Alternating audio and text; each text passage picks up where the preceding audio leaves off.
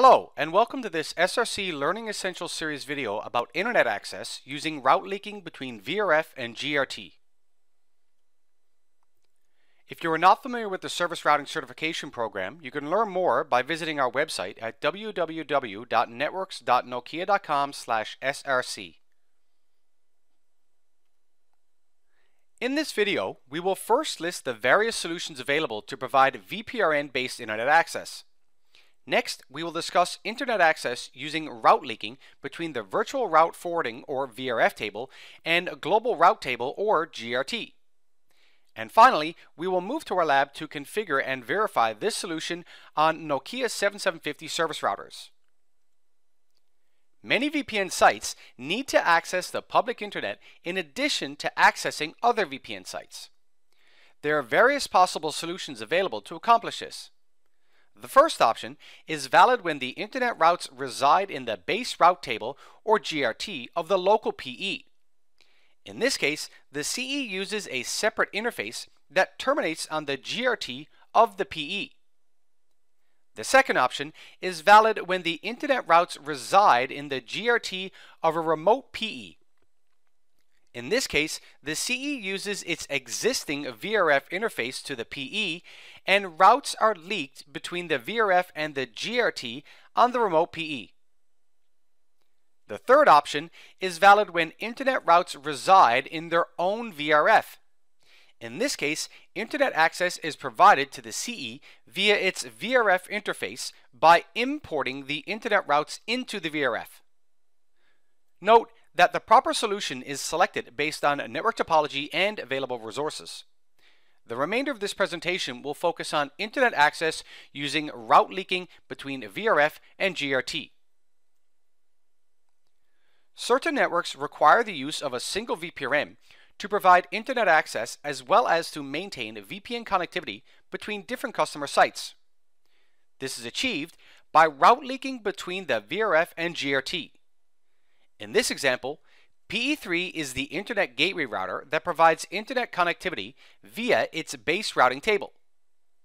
The VRFs on PE1 and PE2 need to provide Internet access to CE1 and CE2 in addition to providing VPN connectivity. There is no requirement for the VRFs to contain the full Internet route table. So a default route to the Internet Gateway Router, PE3 in this case, is sufficient. Then, routes are leaked between the VRF and GRT to enable internet access. To support data forwarding from CEs 1 and 2 toward the internet, PE3 first advertises a default route in its VPRN. PE1 and PE2 receive this default route via MPBGP, install it in their corresponding VRFs, and advertise it to their attached CEs. This ensures that on PE1 and PE2, an incoming packet that is destined to the internet is forwarded to PE3. So in this example, when CE1 sends a packet to IP address 192.51.100.1, it first forwards the packet to PE1. PE1 then looks in its VRF route table. The incoming packet matches the default route in PE1's VRF and is forwarded to PE3. When PE3 receives packets destined for its VRF, it first looks up the next hop address in the VRF. If there is a match, the packet is forwarded based on the defined interface. If, as in this case, the match is of type GRT, or if there is no match, PE3 performs a second lookup this time in the GRT, and forwards the packet based on the base routing information.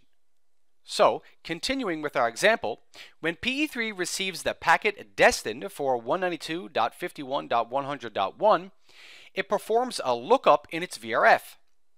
The packet matches the VRF default route that points to the GRT. Therefore, PE3 performs a second lookup in the GRT and forwards the packet to its destination via the appropriate GRT interface. Finally, to support data forwarding from the Internet back toward the CE, the CE routes must be advertised to the Internet. To meet this requirement, the CE routes are first exported from the VRF to the GRT on PE3. These routes are then advertised from the GRT to the Internet via the routing protocol running over the PE to Internet interface. Next, we will move to our lab environment to complete this case study. VPRN ID 1 is configured on PEs 1, 2, and 3. We will configure route leaking between the VRF and GRT on the gateway router PE3 to provide internet access to CEs 1 and 2. Alright, let's start by testing internet connectivity from the Blue VRF on PE1. Ping router 1, which is the Blue VPRN service ID 192.51.100.1.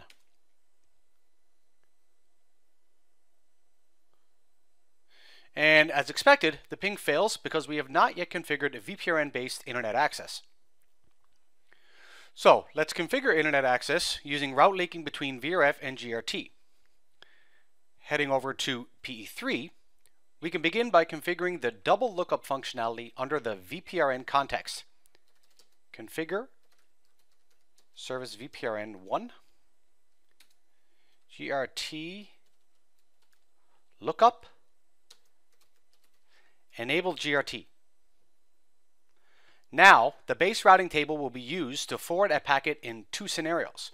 One, if there is no match in the VRF, and two, the match in the VRF has the GRT keyword. To enable the second scenario, PE3 must advertise a default route in its VPRN. Static route 0.0.0.0 slash 0 and we add the GRT keyword. The static route is now advertised, the PEs 1 and 2, and published as a black hole in PE3's VRF. Show router 1 route table to view the VRF. Shows the static black hole route. Back over to PE1. Show router 1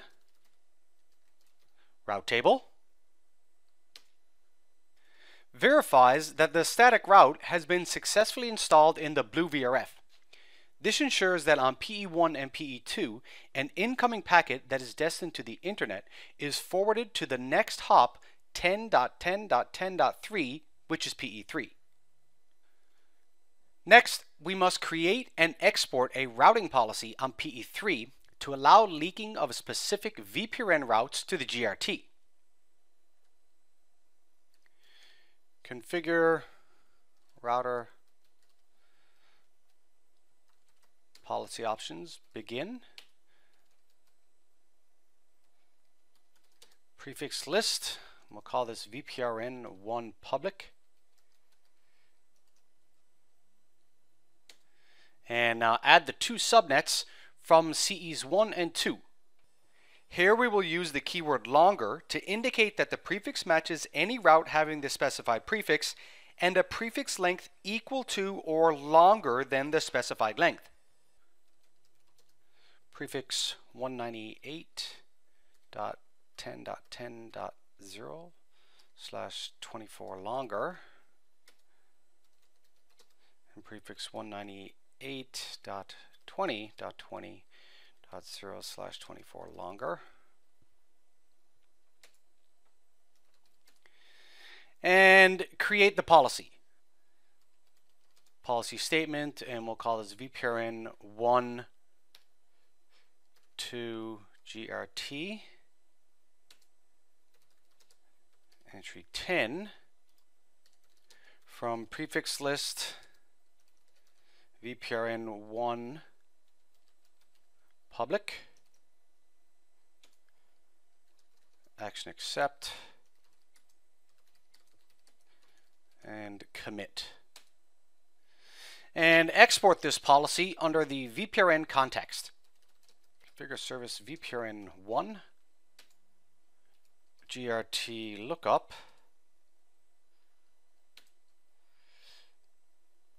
and export GRT VPRN1 to GRT.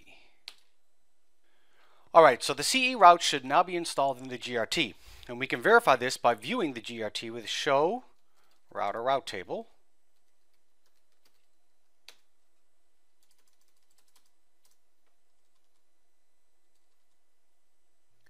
Notice the two CE prefixes are now in the GRT and recognized as being leaked from the VPRN by having a protocol type of VPN leak.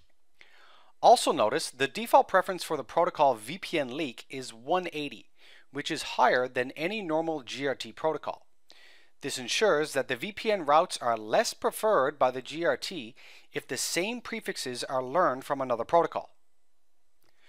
Next, we must create another policy to allow the VPN routes to be advertised from the GRT to the internet. Configure router policy options. Begin. Policy statement, call this export VPN. Entry 10 from protocol VPN leak. Action accept. And then commit. And now export the policy under the BGP group since the protocol running over the PE3 to internet link is eBGP. Configure router BGP group eBGP export export VPN. Alright, let's verify the data path from the internet to one of the CEs. Show router FIB1 198.10.10.1 slash 32. So, when the internet sends a packet to 198.10.10.1, it forwards the packet to PE3. PE3 consults its global routing table and based on the fib table, forwards the packet to PE1 via the VRF. PE1, of course, then receives the packet and forwards it to CE1 based on its VRF. Finally, let's run the same ping from the start of the lab to test internet connectivity again. Ping router 1, 192.51.100.1.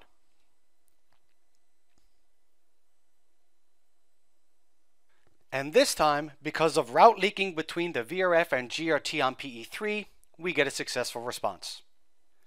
And that does it for this video on internet access using route leaking between VRF and GRT. Thanks for watching and see you next time. Content for this video was adapted from the Nokia SRC Virtual Private Routed Networks course. You can access the complete course via any of the three learning formats shown in this page, as well as get remote private access to a service router lab to complete the course lab exercises.